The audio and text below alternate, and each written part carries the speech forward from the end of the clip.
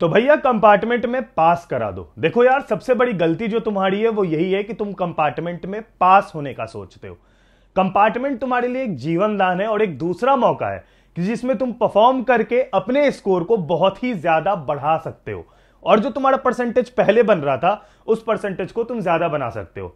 चलो, तुम्हारे सामने एक एग्ज़ाम्पल रखते हैं। मान लो एक ऐसा बच्चा है जिसके 24 मार्क्स आए हैं सारे सब्जेक्ट्स में तो उसके परसेंटेज कितने बने?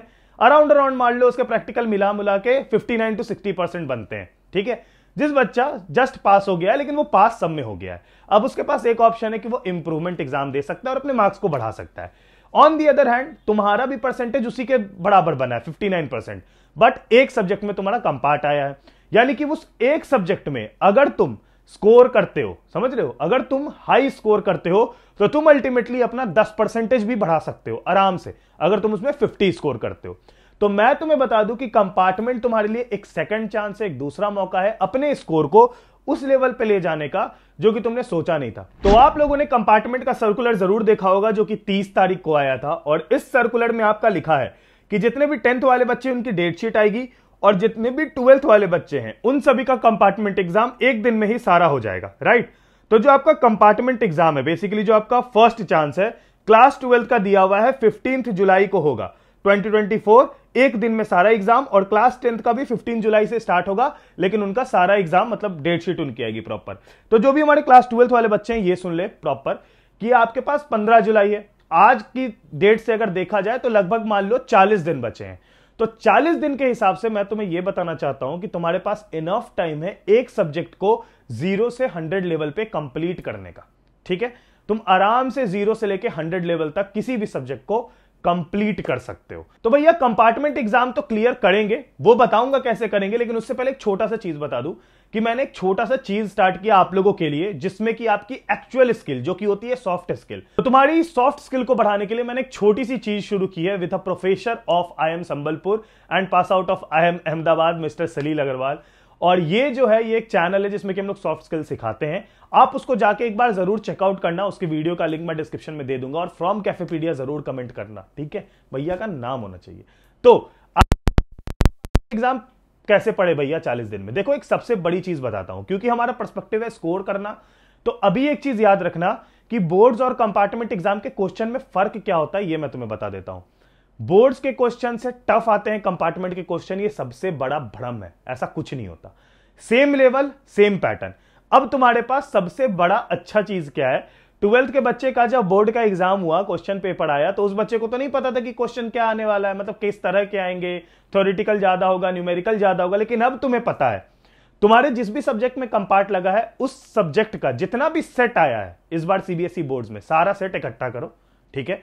और उन सारे सेट्स को एक बार आपको सॉल्व करना है जब आप पढ़ाई कर लोगे, ये चीज़ याद रखना। वो सेट्स आपको सॉल्व करने ही है प्रोबेबिलिटी है, तीस परसेंट क्वेश्चन लड़ भी सकते हैं डिट्टो ठीक है? तो सारे सेट्स आपको सॉल्व करने हैं। आपको पैटर्न का अंदाज मिल गया। जो जो क्वेश्चन नहीं बन रहे हैं, वो क्यों नहीं बन रहे हैं, वो पता करो। क्या वो थ्योरिटिकल क्वेश्चन है? अगर थ्योरिटिकल है तो पता करो कि इसमें कौन सी थ्योरी है जो मैंने मिस करी है और उसको दोबारा पढ़ो। ठीक है? अगर वो न्यूमेरिकल क्वेश्चन है तो न्यूमेरिकल क्यों नहीं बन रहा है? कहाँ पर मैंने लैक किया है? कौन सा क्वेश्चन में कहाँ पर मुझे दिक्कत आ रही है? उसको पता करो और उसको समझो। ठीक है? तो ये तुम्हारा हेल्प जो है, ये पूरी तरीके से बोर्ड्स का पेपर हंड्रेड परसेंट कर देगा।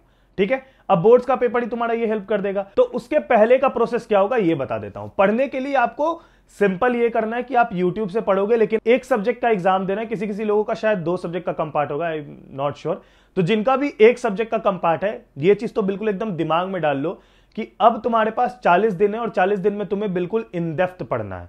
40 दिन का मतलब सिंपल होता है यार। अगर 45 दिन भी है तो एकदम सिंपल मतलब उसका यह होता है कि आपके एक चैप्टर पे अराउंड तीन दिन है। तीन दिन में आप दो दिन पूरा थ्योरी फोकस कर लो और एक दिन आप क्वेश्चन फोकस कर लो। दैट्स ऑल यू नीड दो दिन में थ्योरी फोकस अगर करोगे ना, और एक दिन का अगर आठ घंटा भी पढ़ोगे दो की पढ़ना पड़ेगा भैया कंपार्ट लगा है तुम्हारा, ठीक है? तो घर वाले बजाएँगे जूते। तो जो आठ घंटे पढ़ोगे, इस आठ घंटे में तुम इतनी इंदफ्त थ्योरी पढ़ सकते हो ना कि तुम्हें पता भी नहीं है। दो दिन जो पहले जिसमें तुम थ्योरी कंप्लीट कर रहे होगे पूरे इंदफ्त में, उस दिन याद रखना यह चीज़ कि आपको इंटेक्स्ट एग्ज़ाम्पल बनाते चलना है वाइल रीडिंग योर थ्योरी। और लास्ट डे पे आपको प्रीवियस ईयर क्वेश्चन बनाना है और जो बोर्ड्स में क्वेश्चन आए हैं, इस साल के, वो बनाना है।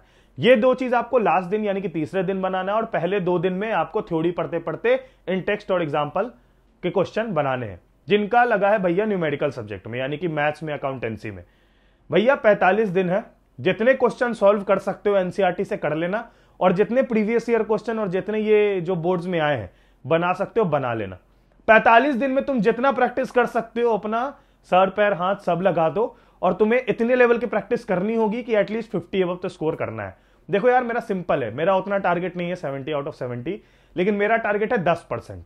और दस परसेंट होता है पचास मार्क्स और वो पचास मार्क्स तो तुम्हें सिक्योर करने ही होंगे इस पैंतालीस दिन में। हर दिन के भैया एक मार्क्स बनाने बोल रहा हूँ मुश्किल से। डेढ़ मार्क्स चलो। हर दिन के डेढ़ मार्क्स बनाने बोल रहा हूँ, हर दिन का डेढ़ मार्क्स तो बना ही सकते हो। है ना? आठ घंटे की मेहनत पे अगर मैं 1.5 मार्क्स ना ला पाऊँ बोर्ड्स में तो भैया फिर तो व्यर्थ है ना, सारी मेहनत। तो आठ घंटे की पढ़ाई में अगर आप डेढ़ मार्क्स बना ले रहे हो तो इट्स ऑल गुड और उतना ज़्यादा मेहनत करने की ज़रूरत नहीं है।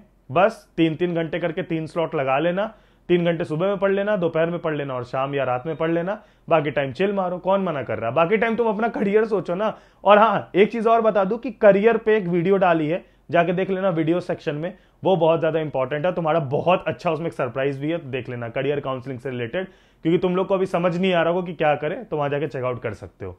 तब तक के लिए अपना ख्याल रखना। Bye take care in peace जय हिंद, वंदे मातरम। और ऐसी कोई भी वीडियो चाहिए तो नीचे कमेंट सेक्शन में बता दो, बन जाएगी।